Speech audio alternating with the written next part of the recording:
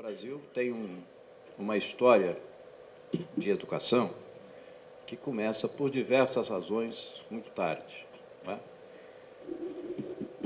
Se nós pensarmos na educação básica, na educação superior, o Brasil entra de forma muito lenta na educação, e muito tardia mesmo, por diversas razões, como eu disse. Uma delas, segundo os estudiosos, é, é uma decisão dos nossos colonizadores, dos portugueses, que, ao contrário uh, dos espanhóis, não gostavam de fazer universidades nas suas colônias. Isso é verdade. Né? Alguns dizem que por uma estratégia, porque a educação é libertária, né? a educação dá a busca da libertação. Ao mesmo tempo, alguns outros alegam é porque eles não tinham a capacidade de, de ter universidades que permitissem o diálogo se eles criassem universidades nas suas colônias, ao contrário da Espanha, que já tinha uma rede universitária muito boa e com isso permitia que ela criasse universidades e dialogasse fortemente, porque da mesma forma que a educação pode ser libertária, ela pode ser doutrinadora. Né? Então, a Espanha fazia uma outra estratégia. O fato é que o Brasil entra muito tardiamente e a nossa universidade mais antiga não tem 100 anos. Né? Enquanto nós observamos ao lado dos nossos vizinhos, e na Europa, aí nós vamos ver universidades centenárias, algumas já se aproximando do primeiro milênio de criação. Então o Brasil chega tardiamente. E mais do que isso, ele não faz é, uma educação e uma criação de universidades para desenvolvimento social. Nós criamos universidades para atender algumas pessoas, principalmente aquelas em volta da coroa e do poder. Então não havia um projeto de desenvolvimento social. O Brasil, quando se torna independente, ele tem cerca em torno de 3 mil estudantes universitários. Os Estados Unidos, quando se torna independente, ele já tinha nove universidades, com projeto de país. Né? Então, com isso, o nosso avanço é muito lento, né? a nossa entrada na educação é muito lenta. E é por isso que eu sempre repito uma frase: o filme da educação brasileira é algo sem precedente no mundo. O Brasil conseguiu fazer nesses últimos anos, um avanço em educação, que é algo que nós podemos nos orgulhar como brasileiros. O esforço de todos, né, de um Estado, das pessoas, dos professores, dos municípios, dos estados e do governo federal, independente de partido. Nós estamos dizendo que o país faz essa opção. E isso foi muito importante para todos nós. Mas quando a gente olha a foto, como dizem os jovens, nós estamos mal na foto. Nós temos muito que fazer. Fizemos muito, avançamos muito, mas temos muito que fazer. Então é, é, esse momento que nós estamos vivendo agora. E nós já sabemos, se nós olharmos a Europa de ontem, se nós olharmos os países asiáticos de hoje, o modelo que o mundo nos proporciona, nós sabemos que não tem desenvolvimento sustentável, de fato. Aí né? eu estou falando de econômico, social, ambiental e humano, que não seja baseado em educação. Não tem jeito. Né? Se nós pensarmos somente no modelo econômico que prevalece, a produtividade brasileira é um quinto da produtividade mundial. Né? Por quê? É a questão da educação. Né? Ou seja, nós precisamos de cinco trabalhadores do Brasil, em média, né? para fazer o que um trabalhador da Europa e dos Estados Unidos faz. Então, se nós pensarmos só no modelo produtivo, nós temos uma questão séria de produtividade nesse país. Se nós pensarmos na nossa questão do desenvolvimento humano, nós ainda temos jovens, eu vou mostrar para vocês, fora da escola. Tá? Nós ainda temos, apesar de todos os avanços que nós tivemos, estou com medo de tropeçar aqui, mas eu estava vendo. Obrigado. Se fizer, eu fico em cima, resolve pronto. o, o, nós temos, principalmente no ensino médio, muitos jovens fora da escola. Eu vou mostrar para vocês. Né? Então a gente tem muito que fazer, porque é um país que, apesar desses avanços sociais, muitas vezes o CEP onde você nasceu determina seu futuro. Não pode ser assim. Nós precisamos ter oportunidades iguais para todos. Né? Não dá para nós imaginarmos que o jovem que nasce em um determinado local, ele vai ter o seu problema com a polícia primeiro do que tem a sua matrícula em uma universidade. Não dá. Precisamos de um outro país precisamos construir oportunidades iguais para todos. Né? Isso está sendo feito. mas, como eu disse, o desafio é muito grande. Então, vamos falar um pouquinho desses avanços e desafios. Só para vocês terem uma ideia, olha a creche, o que, que nós tínhamos no Brasil. Aqui eu estou dando um retrato, depois eu vou um a um e vou falar um pouquinho do, do Plano Nacional de Educação também. Então, o Brasil avança muito na creche. O Brasil, creche, quando a gente fala creche, a gente está falando de 0 a 3, tá? Pré-escola ali nós estamos falando 4 e 5. O ensino fundamental, né? nós estamos falando na idade correta, né? seria aqueles o que eh, nós temos os anos iniciais e os anos finais, e o ensino médio, o que, que nós temos hoje eh, de estudantes no ensino médio. Você vê que o nosso grande desafio está aqui, olha. Vou mostrar para vocês que isso aqui, quando você pega jovens de 15 a 17 anos, que ele deveria estar no ensino médio, nós só temos 54% dos jovens de 15 a 17 anos no ensino médio. É uma forte exclusão. E esses jovens, por diversas razões, são os mais vulneráveis, né? Vulnerabilizados por diversas razões. Então, e aí começa um pouquinho das nossas diferenças, né? das nossas desigualdades. Porque diferença não tem problema, as nossas diferenças têm que nos ajudar a superar as desigualdades. O problema são desigualdades. Quando você pega dos 20% mais ricos, aí nós temos quase 90% no ensino médio. Quando você pega os 20% mais pobres, isso chega a menos de 30%. Então, é um desafio que nós temos que fazer. Essa queda aqui no ensino fundamental não é uma queda de fato, porque nós estamos também numa transição demográfica. Né? Então a gente tem a demografia se modificando, mas eu vou entrar em detalhe um pouquinho sobre esses números aqui para vocês. Bom, veja aí. Taxa de frequência de 0 a 5 anos na escola. Nós tínhamos, há cerca de 20 anos atrás, somente 46,6. Hoje temos 81,4. Por isso que eu falo o filme é muito bom. Né?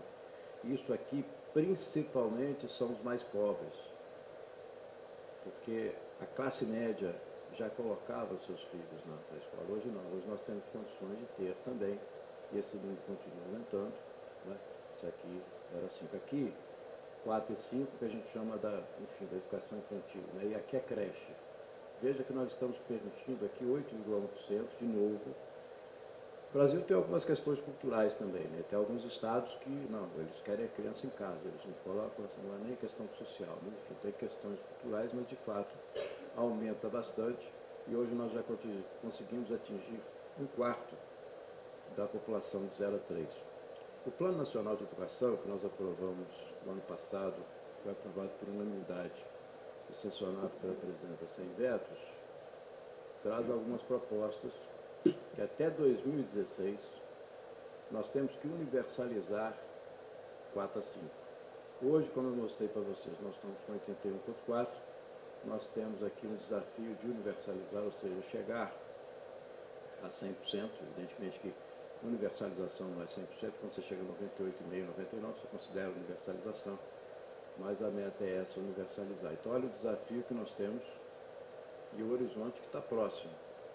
Então, hoje, essa educação aqui, essa educação infantil, é de responsabilidade dos municípios. O Brasil, na sua Constituição, ela define claramente as responsabilidades de cada ente federal, né? então os municípios. Mas é claro que nós temos que trabalhar junto com eles. Os municípios hoje não conseguem fazer isso sem a forte presença nossa. Eu vou mostrar para vocês no final alguns programas que nós temos para auxiliar nisso aqui. Mas é um grande desafio. De 0 a 3 anos, nós temos que colocar 50% das crianças e nós estamos com 23,2%, ou seja, precisamos de construir creches. O desafio aqui não é a construção física. A construção física dá para fazer. O desafio aqui é o custeio, são os professores, é a manutenção. Uma creche hoje, para 120 pessoas, 60, 60, vou falar sobre isso mais tarde, ela custa mais ou menos 1 milhão e 700 mil. Então, uma vez é, é o one-off, né? você faz, entregou para o município. Só que para o município não ter, ela custa 100 mil por mês, em torno dele. Então, é meio um presente, o prefeito tem que pensar se ele recebe. Né? Recebe, mas. Então nós estamos trabalhando muito nisso, não é o NDE, a gente precisa trabalhar e temos um diálogo muito bom com os prefeitos, com os governadores, para a gente avançar. 6 a 14. Nós saímos de 91 para 98, praticamente universalização. Isso é muito bom para o país. Os jovens de 6 a 14 anos no nosso país, praticamente universalizados, estão na escola. Justiça para aqueles que têm posições, às vezes, muito é, bem definidas, muito claras e algumas muito qualificadas, quanto o Bolsa Família. Isso aqui é muito efeito Bolsa Família. Não é que estar na escola é um pedágio que você paga para ter um Bolsa Família. Não, é o contrário. É um programa que incentiva e mostra a importância da educação para uma sociedade e para pessoas que no passado nós excluímos da educação. Se nós excluímos, como eu disse, pela nossa história, essas pessoas do valor da educação, elas não têm a menor ideia da comunidade. Tem comunidades nesse país várias, tem vários bairros em grandes cidades que você não encontra ninguém que fez curso superior. Ninguém. Comunidades grandes. Não tem a ideia. A pessoa, ela chega a 14, 15 anos, o desejo que ela tem é trabalhar em algum local para comprar sua moto, que é o desejo legítimo, que é o horizonte que ela tem. Né? Muitas pessoas acham que as universidades, agora estão mudando com as cotas, eram proibidas né, para algumas pessoas. Então isso aqui é muito bom para o nosso país. Estamos avançando praticamente a universalização de 6 a 14. Lamentavelmente, nem todos estão na idade certa. Lamentavelmente, nem todos com 8 anos já sabem ler e escrever. Então, isso aqui é um passo, mas ainda não é o que nós queremos. É um bom filme com uma foto difícil. Qual é a nossa meta? Universalizar isso aqui praticamente já está concluído, isso aqui não tem muito dúvida que nós vamos fazer, 6 a 14, e garantir, aqui é que é o difícil. 95 conclui essa etapa na idade recomendada. Qual é a etapa, a idade recomendada para a gente concluir isso? 16 anos. No Brasil, hoje, somente 66,7% concluem a idade correta. Nossa meta é 95%. Né? Então, é, precisamos fazer, né? ou seja, temos muita aprovação, temos pessoas que entram tardiamente. Não, não, se trata aqui de aprovação automática, nada disso. Educação é mérito. Educação é mérito. Precisamos, tem que ser aprovado por mérito. Mas a reprovação não é sintoma também que né? Você é uma boa escola. Então nós temos que trabalhar para que a gente possa avançar nesse sentido. É um grande desafio nosso. Veja a população de 15 a 17, aqui é o nosso maior desafio. Jovens de 15 a 17 anos. Saindo de 37 em 2001, que é um grande avanço, para 55. Termos numéricos, aqui nós estamos falando quase 8 milhões, aqui nós tínhamos um pouquinho mais de 3 milhões e, vai chegar em 4, algo assim. A gente avança muito. Mas veja, só estamos atendendo jovens de 15 a 17 anos que estão no ensino médio e que, portanto, podem, aos 17 anos, sonhar em fazer o Enem, estar na universidade, somente 55%. E aqui a distorção é gravíssima, como eu disse para vocês, nós pegarmos os 20% mais ricos, chega quase mais de 80% e os 20% mais pobres, o percentual é inferior, menos de 30%. Então, esse é um trabalho que nós temos que fazer por diversas razões. Né? Esse jovem precisa estar na escola, né? ele precisa ter a mesma oportunidade, independente de classe social, ele nasceu, é, da região do país que ele vive. Esse é um grande desafio. É um desafio quantitativo, é um desafio qualitativo e, para mim, o mais importante, é um desafio de justiça social, o direito de ter direito. Né? Tem pessoas nesse país agora que estão acordando que eu tenho direito de ter direito. Né? Porque nem sequer imaginava isso que era possível, ela estava na universidade. Então, isso é um, é um desafio, é uma mudança cultural que a gente precisa fazer. E qual é a meta? Universalizar, ou seja, isso aqui não é difícil. Tá? Até 2016, quando eu disse que não é difícil, eu estou dizendo que não é impossível, dá para fazer. Colocar, chegarmos em torno de 100% com os jovens de 15 a 17 na escola. Quando a gente fala de na escola, ele pode estar no ensino fundamental, ele precisa estar no ensino médio. Agora, esse aqui é extremamente difícil. Taxa líquida, de 15 a 17, ou seja, o jovem de 15 a 17 que está no ensino médio. Aqui, é o que a gente chama de taxa bruta, né? É diferente. 15 e 17 está em qualquer fase da educação básica. E aqui não. Aqui, 15 e 17 está no ensino médio. Nós precisamos chegar a 85, estamos em 55. É um desafio. O analfabetismo. Em 1950, a Argentina tinha o índice de analfabetismo que nós temos hoje. 1950. O Brasil, nessa época, tinha quase 60% de analfabetos. Então, isso que eu falo, a nossa história, né? uma história belíssima. Está bem, avançamos muito. Chegamos a 8,5%. A beleza disso tudo está no próximo slide que eu vou mostrar para vocês. Quer dizer, ainda é muita gente, precisamos resolver, mas o bom é que nós acabamos com o, o, estoque. Você pega 15 a 19, acabou, universalizou. 1%. Temos mais. Não temos mais uh, jovens de 15 a 19 anos analfabetos. Isso é muito bom para o Brasil. De 20 a 24, acabou também, não temos 2%, ou seja, 98% são alfabetizados. De 25 a 29, o amarelo é 2013, aqui é 2012. Olha bem, de 25 a 29, resolvemos o problema. Isso é bom para o país. Estoque de analfabetos são residuais. Aqui, começa o nosso problema. 30 a 39, apesar de ser um índice baixo, 95% de alfabetização, precisamos trabalhar. São pessoas que nós não demos oportunidade no passado.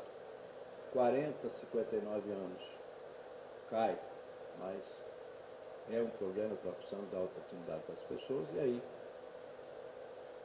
o nosso grande problema é, são as pessoas, problema no sentido social, né? não que elas sejam problema, nosso problema para resolver de é, 24% aqui de 60 anos ou mais, que é extremamente difícil esse trabalho, né? porque a pessoa construiu a sua vida, criou a sua família, avançou, e ela nunca precisou é, aprender a ler para isso, ela tem muita resistência, né? e não dá para nós pegarmos isso, essa pessoa, esse cidadão, colocarmos numa sala de aula com jovens. Eu acho, tenho discutido muito isso no Ministério da Educação, viu, Gonçalo, que a nossa saída aqui é o ensino técnico profissionalizante. É a gente associar a alfabetização com a valorização do que a pessoa faz. Tá? Exemplo, nós temos uma pessoa que trabalha como eletricista e essa pessoa é analfabeta, mas ela tem a habilidade, a habilidade os conhecimentos, né, o saber daquela área, a gente pode trazê-la para o Pronatec, para o concurso qualquer nosso. Nós vamos aprimorar a sua qualificação de eletricista, ao mesmo tempo ela vai aprender a ler. Eu acho que esse é o caminho. Assim, da mesma forma, nós temos um leiteiro, nós temos um agricultor, né? nós temos trabalhado com diversos ministérios nessa linha. Eu, eu não vejo, honestamente. Eu já me debrucei sobre isso no Ministério com alguns colegas, né, o nosso secretário da. Eu acho que essa é uma saída que nós temos. Né? Porque pegar essa pessoa, colocar uma sala de aula convencional, falta motivação, né? falta aula. Mas é um desafio. E aí está a nossa meta. Veja bem, nós precisamos elevar a taxa de alfabetização com 15 anos mais para 90. Nós estamos com 91,5, precisamos 93,5 até 2015. É isso mesmo que vocês estão vendo, 2015, final desse ano. Desafio imenso, né? porque 2% ali que parece pouco, é muito, que é quase uma busca ativa. Vocês viram que nós não temos mais jovens ali para trás, né? São pessoas, principalmente acima de 30 anos. Então, isso é um grande desafio. E taxa de analfabetismo funcional de 15 anos ou mais, a, a meta de 15,3 hoje no Brasil se dá 29,4. Analfabetismo funcional extremamente difícil de medir. Os especialistas têm muita dificuldade de se medir que é analfabetismo funcional. Tem várias definições, várias métricas para isso. Mas, essencialmente, aquela pessoa que consegue assinar o nome, consegue ler alguma coisa, mas não consegue concatenar as ideias e avançar aí. Então, esse é um grande desafio para todos nós. Bom, vamos falar de qualidade, vamos falar um pouco de quantidade. O Brasil é um dos únicos países do mundo o livro nos mostra isso também, que tem avaliação desde a creche à pós-graduação.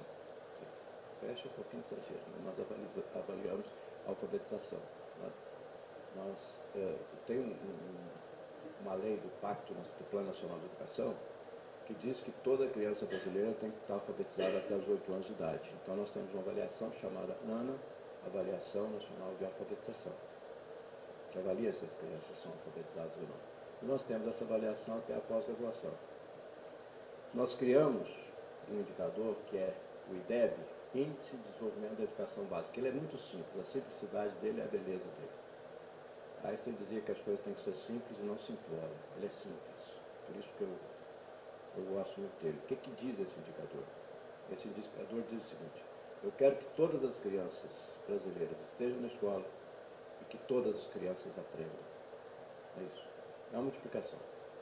É um fator da taxa de conclusão ou da taxa de permanência, o fluxo dos jovens na escola, portanto o fluxo, né, se foi aprovado, mas passou todas as crianças na escola, a evasão é medida, e a taxa de aprendizado, é uma multiplicação. Aí dá o IDEB. Todas as crianças na escola, quer dizer, não tem evasão, uma escola sem evasão nenhuma, que toda criança que entrou conclui, teria um. Multiplicar por um, né? tem penalização. E aí o aprendizado em português e matemática. Multiplica um pelo outro. Se toda pessoa, se todo jovem aprender 100% de matemática, todo ficasse na escola, seria 1 vezes 1, 1, ou seja, o IDEB seria o máximo, o IDEB 10. Né?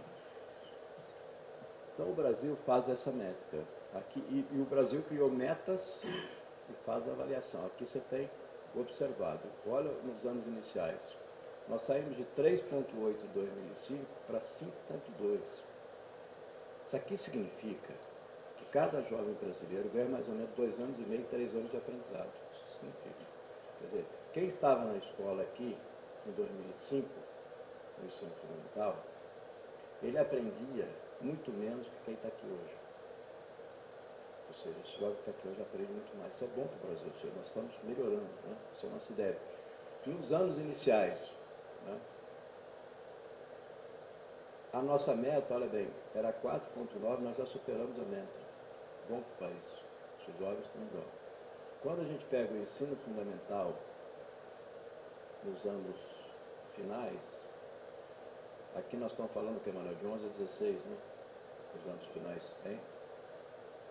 Então veja só, aqui nós já pegamos 16. Melhora, melhora, melhora, melhora, aqui começando, melhora, mas não atinge a meta. Eu não quero quebrar o termômetro não, mas eu tenho um problema com essas metas. Né? Gente, a meta nossa é uma meta exponencial, uma meta que vai ser difícil de alcançar. Tá? Não tem problema, nós vamos continuar trabalhando, não vamos quebrar o termômetro, vamos continuar, mas o fato é que está avançando. De novo, isso aqui significa que ele ganhou um ano, um ano e dois, quase um ano e meio de aprendizado. Isso significa uma criança que estava na escola em 2005, uma criança que está na escola em 2003, essa aqui aprende muito mais. Isso é bom para o país. Isso aqui é esforço dos estados, dos municípios. Né? O ensino médio, nosso grande problema. Avançamos, mas olha só, nós saímos de 3,4, somente conseguimos chegar a 3,7, está estabilizado. Esse aumento aqui é pequeno, esse aumento aqui é pequeno, está estabilizado, nossa média é 3,9. O ensino médio é nosso desafio quantitativo e qualitativo. É o grande desafio. Aliás, é o grande desafio do mundo, tá? O ensino médio não é desafio só no Brasil. Eu mostro isso aqui um pouquinho, né? o livro mostra esse desafio. 2005, um jovem que estivesse no ensino médio, mais ou menos sua época, né, Firmeza? Você estava no ensino médio nessa época? Firmeza. Então, quando ele estava concluindo Firmeza, concluindo o ensino médio, estava aqui. Hoje nós já temos esse avanço. Mas é muito pequeno. Isso aqui é meses de aprendizado. Isso aqui é. Então, é o nosso grande desafio. Então, nós estamos num desafio qualitativo. Bom, investimento. Por que é importante falar isso? Nós temos duas correntes. Uma diz assim, ó, nós precisamos de mais dinheiro para a educação. Eu costumo dizer que o Plano Nacional de Educação tem 19 metas. Mais uma que financia as outras 19. A vigésima meta é o seguinte, 10% do PIB na educação. Está bem? Eu, como gestor da educação, cada vez mais eu quero dinheiro da educação. Tá? Nós precisamos de mais recursos na educação. E precisamos, o Brasil precisa mesmo, porque o nosso investimento per capita ainda é baixo. em relação aos outros países, exatamente pela dimensão dos outros países. Porém, nós aumentamos muito o investimento em educação. Olha só, nós já chegamos a 6,6%. Eu acho que com o último recálculo do PIB, isso caiu para 6,2%. Mas eu confesso que ainda não tem esse. Não importa, olha só, o Brasil hoje aplica 6,2% do PIB em educação. Tá? Isso aqui é extremamente muito importante. Esse investimento direto é aquele investimento público, educação pública, né? Mas o que importa é isso aqui, você investe em educação. Tá? Isso é muito bom para isso. Estamos avançando, estamos investindo, precisamos investir mais. Em termos absolutos, aqui eu vou falar do Fundeb. O que é o Fundeb? Fundo de Desenvolvimento da Educação Básica. Como eu disse para vocês que a educação é responsabilidade dos estados e municípios, os estados têm dificuldade, claro, e os municípios também, nós criamos esse fundo da educação básica para aportar recursos para os estados e municípios. Veja, hoje um aporte, isso aqui é 2013, está um pouquinho mais, 120,4. Esse é o recurso total em bilhões que se aplica na educação básica. Até 2006 era somente o Fundef. O que, que era isso? O ensino fundamental. Ou seja, só ia até aqueles anos iniciais anos finais. E acontecia coisa curiosa. O menino estava no último ano do ensino fundamental. Ele tinha cantina, ele tinha assistência, ele tinha transporte. Ele passou para o ensino médio, ele tinha que sair da fila da cantina. Não tinha mais recurso aqui. Por isso nós criamos o Fundeb, não agora a educação básica, então aplica também para o ensino médio. Por isso, isso era uma das causas de evasão. A pessoa saía, porque não tinha apoio. Então hoje nós temos o Fundeb, né? toda a educação básica, incluindo o ensino médio. Aí significa livro didático, significa transporte, significa alimentação, significa todo o apoio que possa estudar. Aqui, o PISA. Todos nós conhecemos, vocês conhecem bem o PISA. Se faz uma avaliação internacional. Eu sou membro desse, desse do board do PISA, porque o Brasil, nós temos algumas diferenças com, com a avaliação do PISA, mas todas muito qualificadas. Né? E hoje o Brasil é, teve o apoio de Itamaraty, nosso lar. Eu sou um dos vice-presidentes do board do PISA porque eu fui presidente do INEP, né? Tive no INEP, e a gente trabalhava muito isso naquela época, a gente precisou de uma inserção maior no PISA. Então, olha o que, que acontece com o Brasil. O Brasil sai de 396 em leitura para 410 no último PISA 2012. Em ciências, o Brasil sai de 375 para 405 e em matemática de 334 para 391. Tá? O Brasil avança muito em todas as áreas. Eu vou mostrar para vocês o que é o país que mais avançou eh, nos últimos anos. É esse aqui. Em 2012, olha o Brasil aqui, é o que mais avançou 2003 a 2012 em matemática. O Brasil avançou em torno de 35 pontos. Mostrando, isso aqui são jovens até 15 anos, tá? Até 15 anos, então praticamente nós estamos falando ali, pega poucos jovens no ensino médio e a maioria no ensino fundamental. Então o Brasil é o país que mais avançou. Curioso que vocês vejam que a média da OCDE cai, vários países caem. Quando você compara França, Holanda, Canadá, enfim. Quando você compara 2013 a 2012, o Brasil avança. Você ficou com pena da Suécia. Vamos fazer um manifesto de apoio à Suécia. Eu também agora eu não tinha pensado nisso, também sou solidário. Pode fazer que não coisa aqui da Suécia. Veja aqui o Brasil. Então é isso, nós temos um avanço, é o nosso filme, né? Mas quando você pega a média, a foto é preocupante. Né? É isso. Então essa aqui é a média OCDE, vocês estão observando que a média não cresce. Isso aqui é a média Brasil, quer dizer, nós estamos bem abaixo ainda. Tá? Agora, uma coisa curiosa. Se nós considerássemos somente as escolas federais, os colégios de aplicação, as nossas escolas federais, o Brasil teria 484,9, ou seja, muito próximo da média. As estaduais, 379,8 as municipais 333,8 e a particular 461,7. A rede federal apresenta resultados semelhantes à França, Inglaterra e Estados Unidos. O que, que isso nos ensina? Vamos simplificar uma coisa que é complexa. Vou fazer, falar aqui de forma extremamente simples, uma coisa que é complexa. As escolas federais, ou seja, o Brasil tem a tecnologia do que é uma boa educação. O difícil em qualquer área, cara, que a educação não é assim, é muito mais complexo. O difícil em qualquer área é você desenvolver a tecnologia, depois a produção. Custo hoje é o custo do conhecimento, da tecnologia. Depois que você constrói, você vai produzir. Né? Esse é o custo hoje. O que, que tem as escolas federais? Carreira, professor normalmente de dedicação exclusiva, professor bem pago, professor que tem graduação, mestrado e doutorado. Você não tem na rede federal nenhum professor que ensina matemática que não tem, no mínimo, graduação em matemática. Você não tem professor que ensina física que não tem mínimo graduação física, normalmente mestrado, doutorado. Então você tem carreira, dedicação exclusiva, graduação, formação na área. Você tem um projeto pedagógico bem elaborado. Você tem infraestrutura. Você tem gestão. Se nós simplificarmos o que faz uma boa escola, que é muito mais do que isso, você tem uma série de outras coisas, projeto pedagógico, infraestrutura, corpo docente, isso faz boa escola e a gestão. Desses todos, mais importante, corpo docente. Nenhuma escola é melhor do que a qualidade dos seus professores. Tem jeito de ser. Você pode fazer um tempo, pode fazer uma, com toda a infraestrutura. Nenhuma escola é melhor do que a qualidade dos seus professores. Então, o que, que significa isso? É que nós temos tecnologia. Agora, só que eu estou falando de um país que tem 197 mil escolas. Eu não posso federalizar todas as escolas.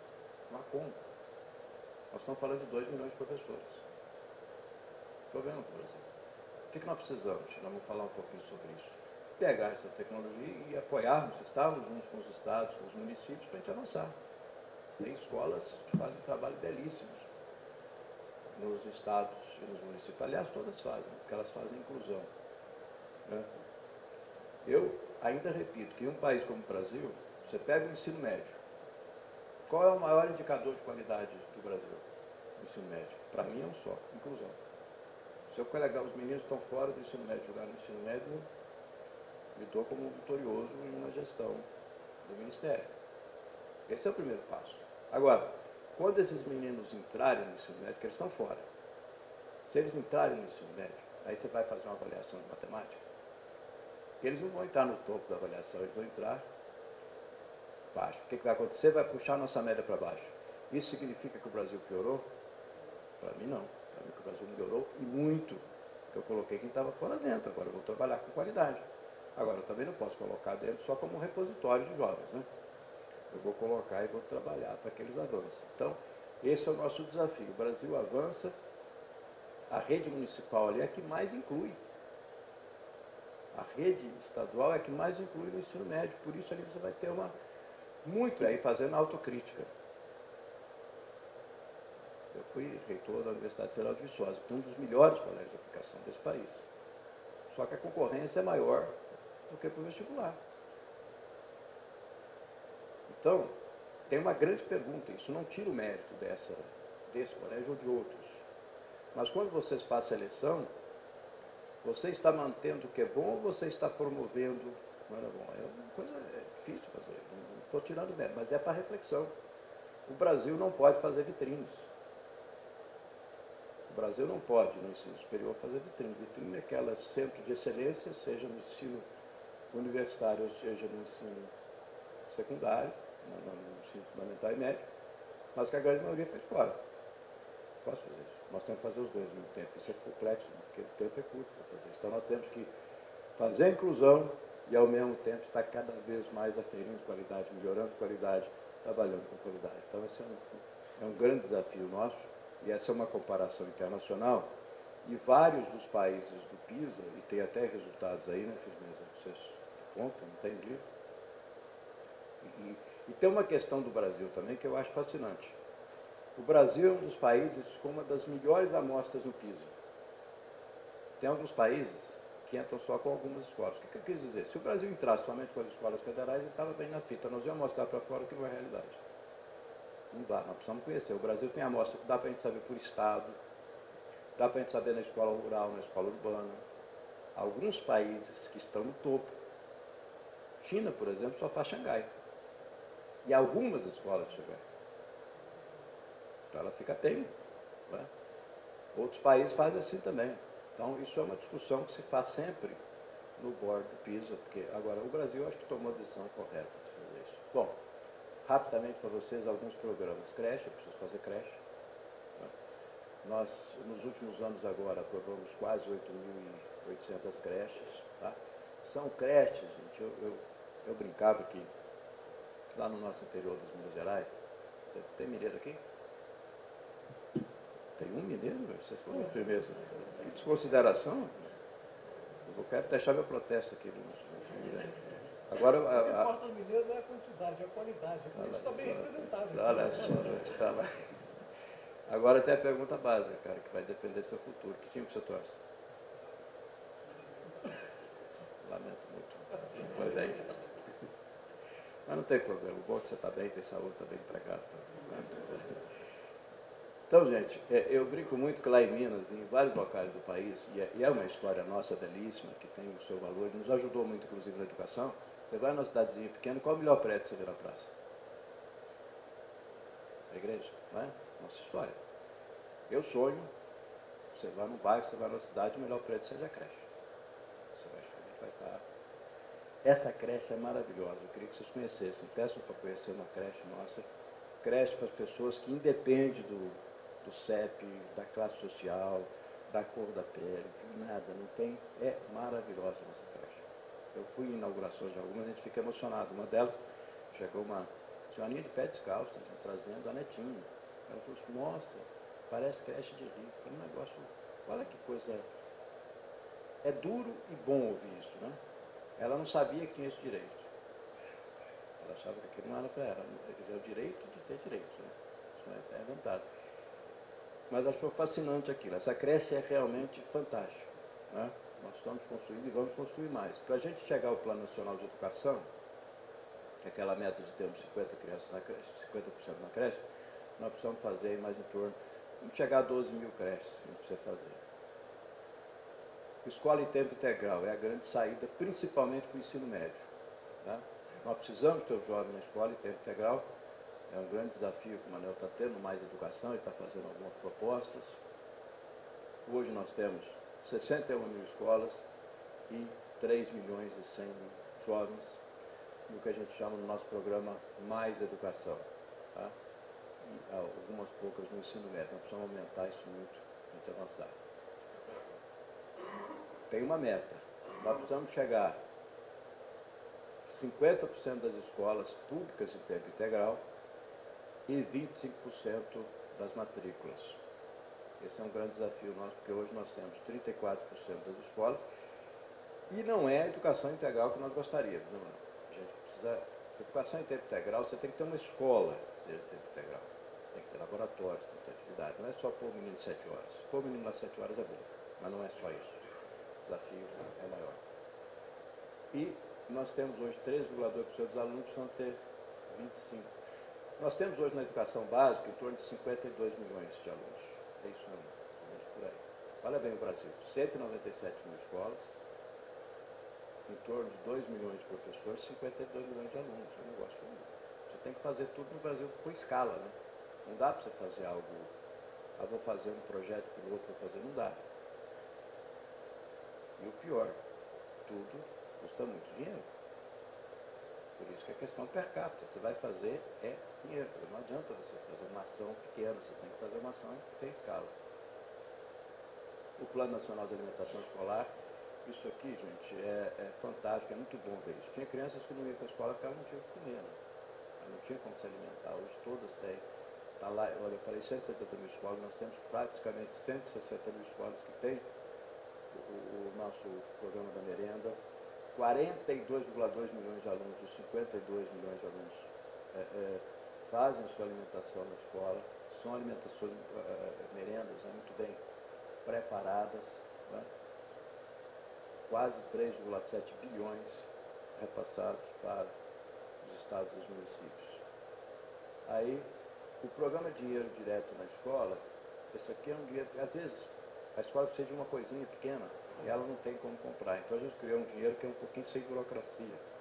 Ela tem que prestar conta, mas vai dinheiro direto na escola. Não passa na secretaria, não passa nada, vai para aquela escola, para o diretor, para ele fazer algumas coisas, depois ele faz a prestação de contas disso tudo. O livro didático. A cada ano nós distribuímos livros didáticos para cada turma, eh, os anos iniciais do ensino fundamental, anos finais do ensino fundamental e ensino médio. Ano passado foi ensino médio, por isso que às vezes cai. 2014 foi ensino médio, não foi, não? Ensino médio. Esse ano nós voltamos aqui aos anos iniciais, então vai subir um pouquinho. Ou seja, 31 milhões de pessoas receberam lá no ensino médio livros.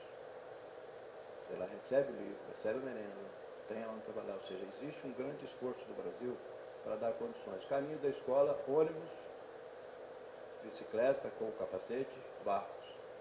Tem lugar desse país, gente, que a criança demora quatro horas de barco para chegar na escola. O Brasil é fascinante. Um negócio maravilhoso. Né? É, e a gente precisa fornecer isso. Né?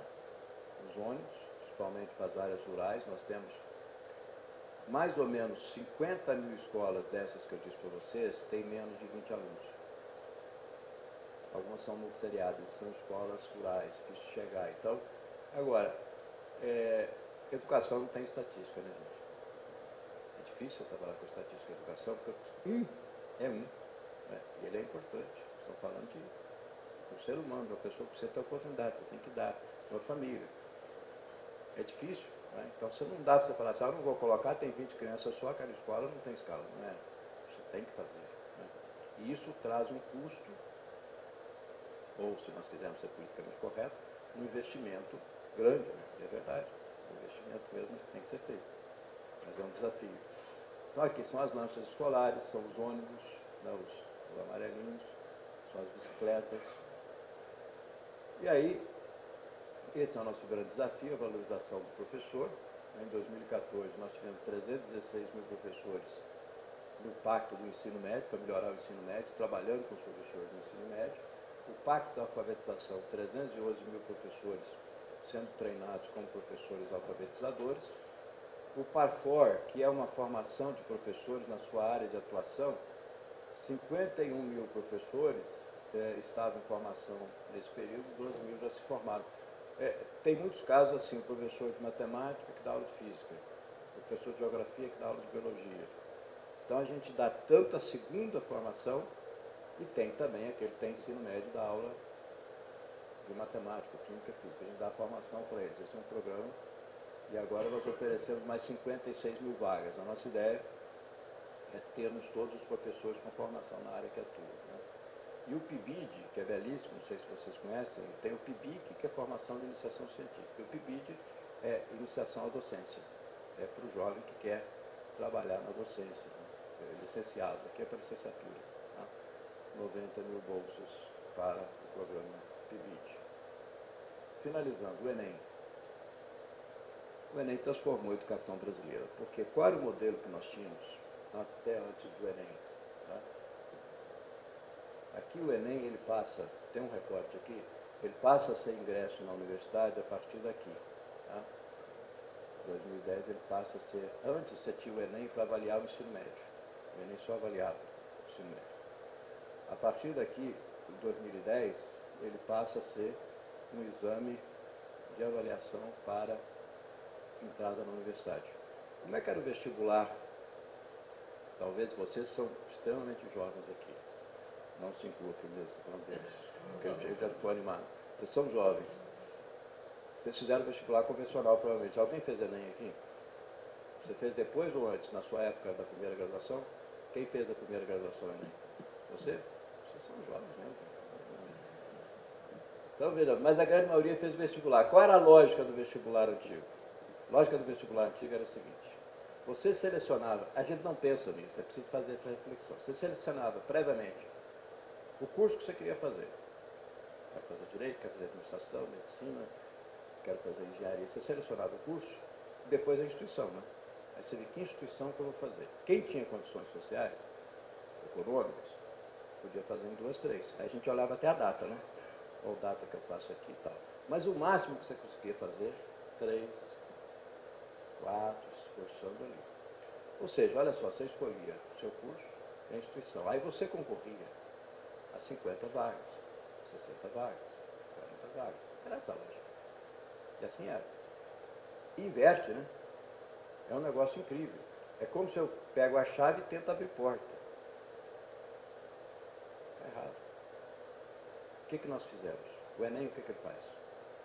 Você define na frente do seu computador. Você pode morar no Acre, você pode morar em Minas, você pode morar na Bahia, você pode morar em qualquer parte desse país. Você pode ser de qualquer classe social, basta ter acesso ao seu computador. Você tem à sua disposição, no último, 215 mil vagas em todas as instituições públicas desse país. Imagina o que era isso é impensável. Você chega ali e seleciona. Eu quero fazer tal curso. Quais universidades no Brasil que dão esse curso? E você faz a sua inscrição com uma prova só. Você inverte. Você abriu as portas. Você seleciona. Isso era impensável antes. O custo disso para você ter esse acesso a esse número de vagas. O Enem inverte isso. Não adiantava nós expandirmos vagas se o método de seleção fosse o mesmo. Porque o vestibular, na sua essência, é excludente.